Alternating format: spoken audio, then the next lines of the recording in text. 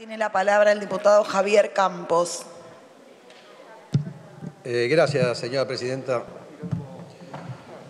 La verdad que venía totalmente dispuesto a hablar del presupuesto 2021 hasta que leí la carta pública de la expresidenta Cristina Fernández de Kirchner, donde afirma que la Argentina es un extraño lugar donde mueren todas las teorías y donde, según ella, la economía bimonetaria es el problema más grave de todos y que es de imposible solución sin un gran acuerdo de todos los sectores políticos.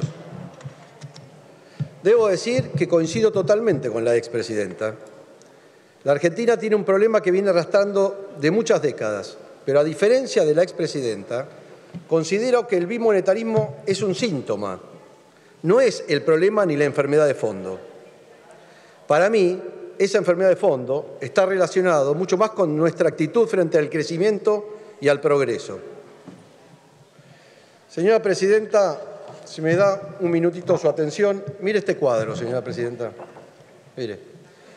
Este cuadro muestra el PBI per cápita de la Argentina contra el promedio mundial.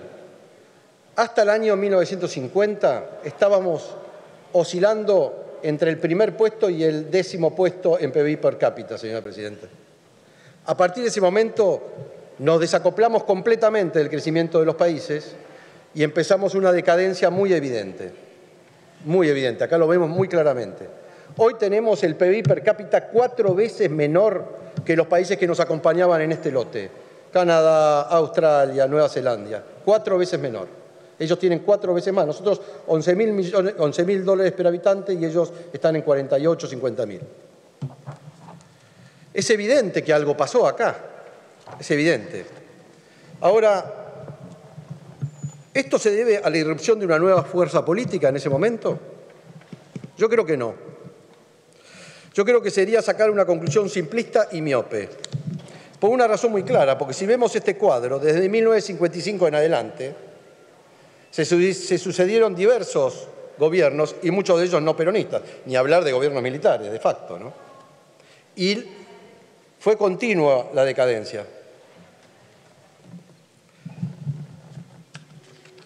Soy de los que piensan que el problema es que se instauró un concepto en la Argentina peligrosísimo.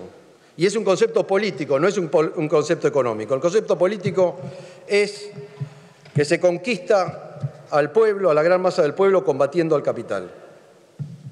Eso permeó toda la dirigencia política argentina, a todos, no a los peronistas, a todo el mundo lo permeó. Y significa un gran problema para el desarrollo del país. Repito, para que quede claro, para que no quede como una cosa antiperonista que no lo es. Esto estoy tomando el guante de la presidenta de la expresidenta Kirchner, de tratando, en vez de hablar del presupuesto técnicamente, tratar de hablar de los problemas que tenemos los argentinos levantar la mirada y ver cuáles son los problemas que, se vienen sucediendo. Repito, este no es un problema de un partido político, es un problema de la dirigencia política en su, en su, conjunto, que piensa que el voto se consigue argumentando en contra del capital. Esta concepción política crea un discurso para la conquista del voto de la gente y nos ha traído a una encerrona como país. Porque, señora Presidente, ¿qué es la pobreza? ¿Qué es la pobreza material sino falta de capital? Es evidente. Por lo tanto, es imposible para cualquier dirigencia política pretender sacar a los argentinos de la pobreza combatiendo el elemento necesario para erradicarla. Es evidente. No se puede, cuando se actúa contra el capital, se afecta tanto al empresario, al comerciante, como al más postergado de los ciudadanos. Como analogía, señora Presidente, Diría que no se puede saciar la sed de una persona, de un sediento, evaporando o envenenando el agua. Y, lo mismo, no se puede hacer eso contra el capital, porque todo el mundo tiene capital, hasta el más pobre tiene capital. Durante demasiado tiempo en este mismo recinto se ha buscado apoyar al consumidor y terminamos agobiando al productor. Durante demasiado tiempo, señora Presidente, se ha querido ayudar al deudor y hemos ocasionado pérdidas al ahorrista. Durante demasiado tiempo se ha querido beneficiar a los inquilinos y lo que se logró fue estigmatizar y restringir los derechos de los propietarios. Durante demasiado tiempo, señora Presidente, se ha querido beneficiar al empleado y lo que hemos logrado es ahogar al empleador. Por todo esto, señora Presidente, hoy nos encontramos sin sistema financiero para los tomadores de crédito, sin la productividad necesaria para beneficiar a nuestros, a nuestros consumidores, sin viviendas para nuestros inquilinos y, lo que es peor, sin trabajo ni empleo. Por todo esto estoy convencido que nuestro país ha llegado a un cruce de caminos, a una encerrona, a una instancia definitiva. Por cuanto ya no queda capital en la Argentina, en las últimas cifras hablan de que de niveles de inversión de alrededor del 9%. Eso ni siquiera alcanza a reponer la infraestructura existente. Asistimos todos los días a la huida, a la huida del capital de nuestro país, en beneficio de muchos otros países y en especial de nuestros vecinos de Uruguay y de Paraguay. Hemos llegado a la ridícula situación en donde la expulsión de nuestro capital está ayudando a mitigar la pobreza en otros países, mientras la observamos crecer aquí en el nuestro, crece como una, crecen como, como, plantas la, la pobreza. Esto es lo que debemos cambiar. Toda la dirigencia política debe ponerse decididamente a favor de los que agregan valor económico en este país.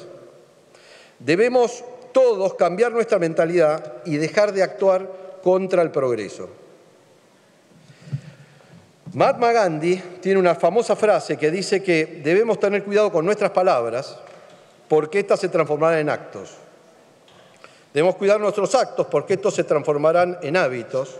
Debemos controlar nuestros hábitos porque estos forjarán nuestro carácter y nuestro carácter determinará nuestro destino. Creo, señor presidente, que estamos a tiempo de actuar en conjunto para torcer el camino, para no caer en la frustración de la decadencia irreversible, de la cual estamos muy cerca. Permítame soñar, señor presidente, permítame soñar con un país donde todos cantemos algo diferente, donde cantemos, por ejemplo, que el voto se consigue luchando por la igualdad. Sería mucho más edificante que combatir algo. Debemos dejar atrás las contradicciones que nos empobrecen y soñar con un gran país para el beneficio de los más postergados. Permítame soñar, señor presidente. Muchas gracias. Gracias, diputado.